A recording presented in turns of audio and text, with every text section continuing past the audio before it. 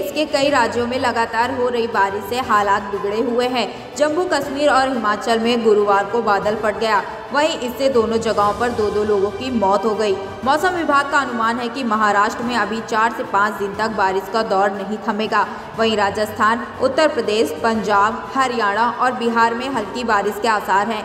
वहीं उत्तराखंड में तेज बारिश के चलते ऑरेंज अलर्ट भी जारी किया गया है। आपको बता दें, उड़ीसा, छत्तीसगढ़ गुजरात, गोवा, मध्य प्रदेश, महाराष्ट्र और तेलंगाना में भारी बारिश का अनुमान है।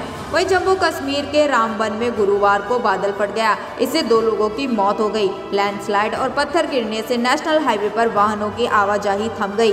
प्रशासन ने पहले ही तेज बारिश की चेतावनी जारी की थी। तो वहीं मौसम विभाग ने गुरुवार को महाराष्ट्र के अलग अलग जिलों में बारिश को लेकर येलो अलर्ट जारी किया था। इसमें पालघर, रत्नागिरी, नासिक, कोल्हापुर, सतारा अलौका, अमरावती, चंद्रपुर, नागपुर, वर्धा और यवतमाल शामिल है।